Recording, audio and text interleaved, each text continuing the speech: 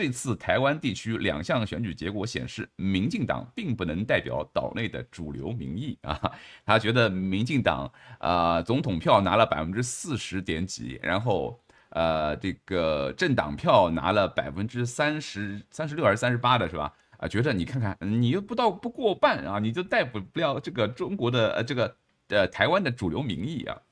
我在分析这句话以前呢，先给大家看一下中国国内呢，就这个事情啊。很多人都不买账，而且不但是这个，呃，所谓反贼吧，就是支持台湾的朋友，那很多人不买账，粉红也不买账，为什么呢？粉红说，哦，百分之这么高都不是主流民意，那很明显选民进党就是要台独嘛，是吧？你们还说不是主流民意，你在帮他们打掩护，是吧？大家好，大家好，哎，我这两天一直忘了把它拿出来了，呃，我其实本来不想带它的。但是我那个路上，我不是带了很多三脚架嘛，放灯啊什么东西的。那个三脚架的带子太长了，我就把它塞在那个三脚架一头，呃，这样把它填满了嘛，这样子那个脚架就不会摔坏。今天正好拿出来啊，我们来讲一下这个中共方面对于这个台湾选举的反应，其实并不多，但是呢，呃，很值得玩味一下啊。还有呢，就是呃，昨天晚上开始就有很多朋友发各种各样的链接给我啊，说有人呃这个。在发现，在现场监票嘛，发现有人在做票，就是舞弊啊。我们来简单谈一下这个东西啊，这两点，呃，普遍共识和稳固格局不会改变。今年多了一个稳固格局，然后呢，呃，一个中国原则是维护台海和和平稳定的定海神针，加了这么一句，是吧？二零二一年呢，然后有一个希望，并且相信国际社会会持续啊，这边没有希望，其实没有什么本质的区别，但是呢，他加了这一句定海神针，是吧？我在想，是不是有可能是在针对赖清德之前接受采访的时候 啊？赖清德讲了两岸的定海神针是民主，啊，是不是针对这句话是吧？啊，就是说到底什么是定海神针啊？到底是一个中国的原则，就所谓统一呢，还是说这个是民主啊？赖清德这句话其实真的是戳到痛处了，所以他要故意的这里也要呃修改一下，回应一下啊。那外交部里面呢，其实没有什么太大的这个区别啊，但是呢，这个国台办的是有很大区别的。这是今年国台办啊发的这个，也就是昨天晚上我们我们那个直播时候啊，他发的这个东西，我对比一下二零二零年的啊，就是二零二零年的，呃，这个基本上措辞是修改很大的啊，两个没有什么共同的地方，其实也是很多这个这个话什么反对各种形式台独啊，都是只不过说重新组合了一下。我简单读了一下，我个人的感觉是，二零二四年呢好像要更缓和一点，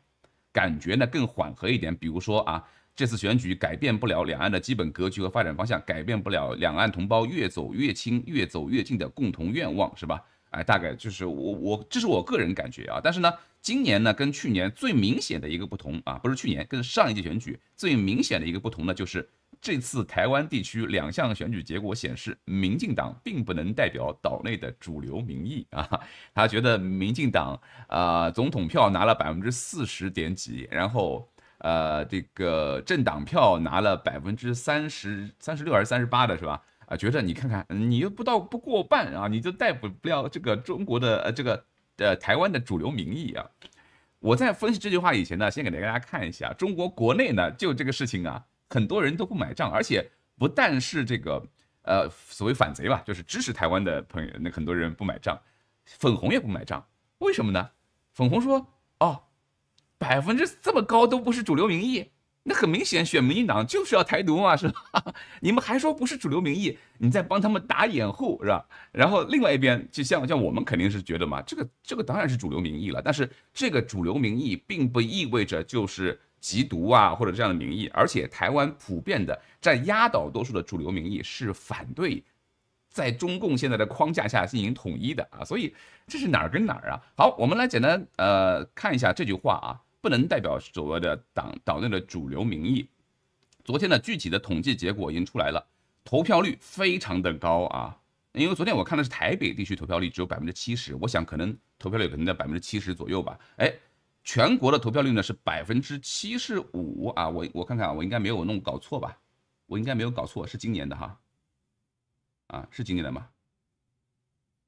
我希望没有搞错啊，反正投票率是很高的。那么我们对比美国以前的投票率呢啊，美国呢就是上一选举呢，投票率已经接近百分之七十了，百分之六十几啊，这已经是最近的，呃，哇哇哦，最近的一百多年以来的这个最高了，是吧？才百分之六十几。那台湾呢，现在啊，随便一次选举都是百分之七十七十几。而同样的，作为对比的啊，我们就是香港的区议会选举，你看看去年呃的香港区议会选举，优质民主实践，充分。充分反映民意，呃，怎么说呢？区议会选举的这个总共的投票率是吧？史上最低，官方公布的是百分之二十七点五四啊，那是官方公布的。呃，然后我们这这是总的投票率，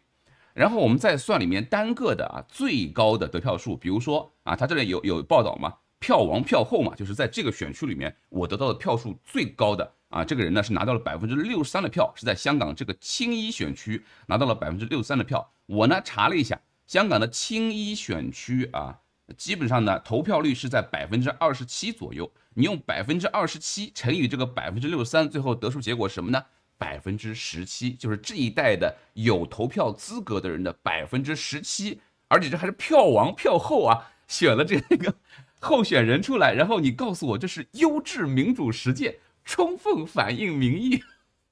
相比于台湾现在的，你哪怕拿赖清德百分之四十吧，那么百分之七十投票率啊，百分之四十也是相当于所有具有投票资格的人的百分之三十吧，啊，差不多百分之三十是吧？啊，那个选择了赖清德，那 跟你刚才的百分之十七，这是没法比。而且呢，其实它还有一个混淆概念啊，就是台湾的选举制度它是不一样的。啊，我其实一直以来就觉得台湾的选举制度呢，可能将来可能会是不是有所变更啊？可能？因为它跟很多其他国家都不一样啊。我我们可以对比一下澳洲的、法国的、美国的或者怎么样子啊？美国呢长期是两党轮流执政，但是美国呢除了这个总统选举以外，还有各种各样的去制衡的机制啊。我们来看一下，比如澳洲的吧，澳洲的，拿我们澳洲上一届选举的结果相比，我们澳洲是强制投票。啊，不投票要罚钱的，但是呢，投投票率呢依然没有超过百分之九十啊，很多人不在乎那个一百多块钱。那么这个这个我给大家看呢，叫 First Preferences by Party，就是我们澳洲投票是这样子的，选票上呢会有很多选项，让你选择呢啊，我第一选择是谁？那然后如果这个没有选上，那么第二选择我把票投给谁？是这样子的。所以呢，第一选择的话呢，啊，就是全国所有人第一选择。那么百分之啊，投给自由党的是百分之二十四，是吧？那么最后胜选的工党是百分之三十三不到，三十二点五啊，这是他的第一选择。那么如果我们按照台台湾其实没有票上，只有选一个嘛，是吧？没有第二位、第三位的，没有这个所谓的拨票制度啊，所以你也可以认为澳大利亚工党上届是拿到了百分之三十二的选票，然后得胜了，这个合法性还不如台湾的这次的。还不如国民党的，是吧？还不如台湾这次国民党的啊，所以啊，这是这是澳洲的选举情况。那么法国就更加明显了，法国是最后进入一个总决赛啊，一共有这个几个人进入总决赛，然后大家第一轮开始投投嘛，把最末一位杀去，然后再投第二轮，这呃，然后一轮一轮一轮这样过来。你看第一轮的话，马克龙只得到了百分之二十七的选票啊，勒庞百分之十七或者十八的选票。然后这样一轮轮刷下来，最后最后一轮呢，马克龙以百分之五十八点五的选票啊赢了勒庞。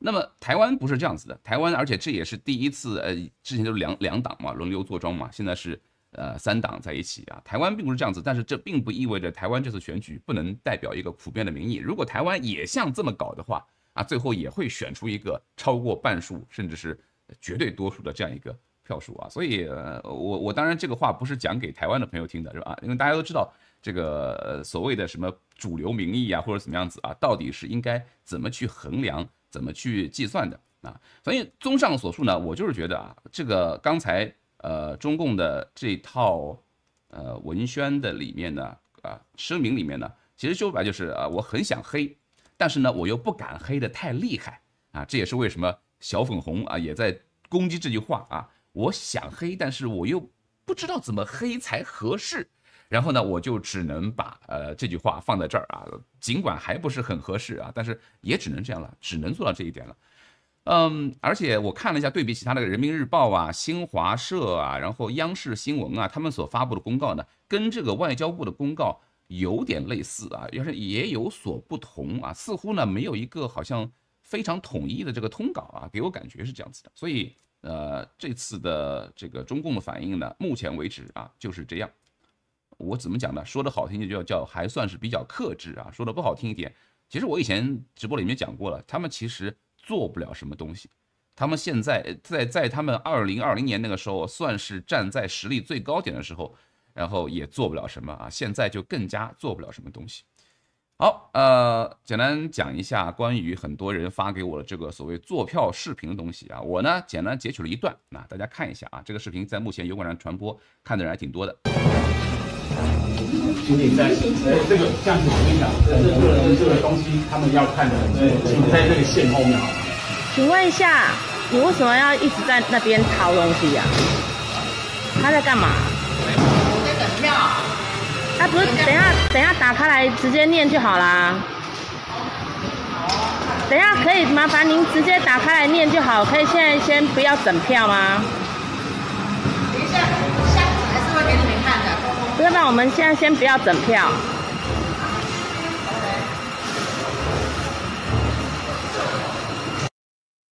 啊。呃，那基本上就是这样啊，然后全长是有几十分钟，也有很多个视频剪在里面。大家如果感兴趣，我可以去搜索一下，在油管上搜索“坐票”两个字啊，立刻就能看到这个视频。那至于这个事儿呢，我是这么看的：第一个，我不太喜欢这里面的配乐啊，呃，就是当然我知道有的时候你会通过会通过剪辑或者配乐呢来强调自己的观点，是吧？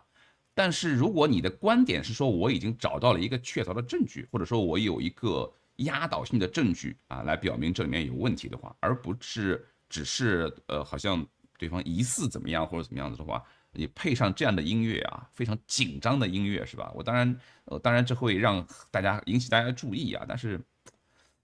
我总觉得这个事儿啊，尤其是当你涉及到民主政治选举的时候呢，不太合适啊。呃，然后我虽然昨天没有去看最后唱票，但是呢，我上一次九合一选举时候，我来我现场看看过了，然后我也知道呢，呃，这基本上也是公认的，就台湾呢有着。几乎是全世界最严密的，呃，这样一套防止作弊的流程啊，一个一个票展示，一个一个票唱出来，然后训，而且也在很短的时间把票数统计上去啊。在很多人口密度没有这么密的国家啊，或者说美国啊、澳大利亚这些国家，感觉就是个奇迹啊，你知道吧？啊，然后。呃，所以我觉得在这样严密的这个系统里面，而且它应该也有，我据据我所知，现场是有录像的，是吧？所有的过程都是有录像的，所有的票都是封存的，可以拿过来重新核验的。嗯，就核验好了嘛，你就去发起核验好了嘛。但是我也知道呢，并不是说某一个人说啊这个票有问题，然后去中央选举委员会就一定会启动这个调查。所以最好的办法无非就是你觉得这个投票站有问题，你去找这个投票站，你可你觉得可能受到影响的这个立委候选人是吧？让他去或者通过他的党派去举报也好，去抗议也好，去要求重新复核也好。我不太了解这个台湾的这个东西选票如何复核这个过程嘛，是吧？但是你与其说呢发布这些东西啊，然后希望呢通过舆论啊来怎么样子，你不如就直接先走这个正规的流程。如果走不了了，然后你再走这个呢，我觉得还也无可厚非吧，只能这么讲啊。这个呢也不是新鲜事了，尤其在二零二零年美国选举之后呢，呃，世界各国啊啊，巴西啊、阿根廷啊、澳大利亚呀，是吧？呃，各国的选举，包括这个公投。大家对于投票都有一种心里都有这样一个东西啊，会不会有人在后面偷偷的把我的票改了，或者把我的票宣布作废了，或者怎么样子？几个月以前，澳大利亚刚刚举行了一个呃那个呃全民公投啊，当时呢我也去现场当这个志愿者或者怎么样子啊，然后的确就有很多投票的人会。把我拉过来说，哎，你要小心啊！你要让他们小心啊！要自己带笔呀，不要拿现场提供给你的铅笔呀。那个你画了勾是会做废票的，是吧？啊，就是这几乎已经全成了全世界的一种心病了啊！但是呢，呃，我个人，我个人以前讲过，我最自豪的呢，就是在二零二零年，我当时呢，在 cover 这个美国的大选的时候呢，大家知道当时我是坚定的支持共和党的。然后呢，在一开始出现这个票数。突然出现翻转的时候呢，我也有过非常强烈的怀疑啊，呃，不管从数学角度还是从概率角度怎么样子的，总觉得这里面是有问题的，呃，包括呢，这里面有大量的邮寄选票嘛，邮寄选票，你你想直觉告诉你邮邮寄选票容易被人大规模的做手脚，但是到了大概十月底还有十一月初的时候，就是无非就是证据嘛，你找出证据来嘛，越来越多的证据呢，让我越来越不能说服我，就是越来越多的人所出示的说这个是做票的舞弊的证据，越来越不足以说服我。而且呢，就是这些举证的人，他们所他们的 reasoning，他们的这个怎么讲？我的 reason 叫什么样？这个说理的过程，或者说，呃，这个好像呃论证的过程，就是让我觉得越来越不舒服。所以在十月底那个时候呢，我就正式宣布，我不再呃报道任何跟关于美国大选的事情了。我觉得应该让他们自己去博弈，是吧？我不参与这场博弈，最后博弈出来什么结果，我们觉得我们所有人都应该认啊。所以，尽管这个事儿后来还是有争议，但是直到目前为止，并没有发现大规模的系统性舞弊的这样一个证据。当然，依然，我还是那句话，我们凡事都要给阴谋论留一点点的空间，就并不否认呢，说可能存在很小的概率有这样一个很难实现的阴谋论，最后真的被人实现了，是吧？但是呢，你始终要考虑到这是一个极小概率的事情，你不能把它拿出来来支配你自己个人以后的生活跟你的政治的观点。OK，这样其实对你、对于整个社会、对于所有人都不是好事啊。所以，嗯，还是那句话，如果说您觉得有问题的话，我坚决支持你通过正当的渠道。啊，包括呢，你到穷尽了所有渠道以后啊，走走舆论的，在法律的允许的台湾法律的允许范围内去走舆论的这个申诉的渠道什么样子啊？我支持你，呃，但是呢，呃，我们大家呢最好呢还是不要把一件事情做成它不可证伪，什么意思？就是说这个事儿，呃，就是你你如果觉得怎么样才能证明啊，你必须要给出一个切实可行的方案，说我能够通过这种方式，我可以证明这里面没有发生问题。你你而不能就说别人证明了这个，然后你又说有没有其他可能性啊？用各种各样概率极低的可能性来确认啊自己的猜想，说这个事儿肯定有问题啊，这个其实是非常不健康的啊，对对所有人都没有什么好处。我们一起还是要来维护，一方面维护一个呃来之不易的这样一个民主的环境，另外一方面呢，就维护我们自己的和他人的身心健康。OK，当然我知道现在。呃，很多在讲这个坐票的，很多都是民众党的这个支持者，呃，很多比较年轻的朋友是吧？那对你来讲，这个事儿可能也是第一次遇到啊。你们之前对于这个民主党的这个成绩可能有更高的预期是吧？呃，这个其实也能理解，也能理解。嗯，但是呢，越是这个时候啊，越是需要我们一起来调试啊，我们自己的心情。我待会儿会跟一位国民党的朋友啊聊一下，那做一期访谈。呃，然后呢，如果有民众党的朋友，包括你对这个坐票有非常强烈的主张的朋友呢，如果你想聊一下的话呢，你也可以发信给我啊，我我我我，因为呃发信给我的朋友很多啊，我我只能在里面选一些，可能我会在台湾期间啊，会大家座谈的朋友啊，但是我也想跟各种来自各种不同背景、不同观念的朋友呢，能充分的交流啊，就是这样子。好，我看看大家怎么样，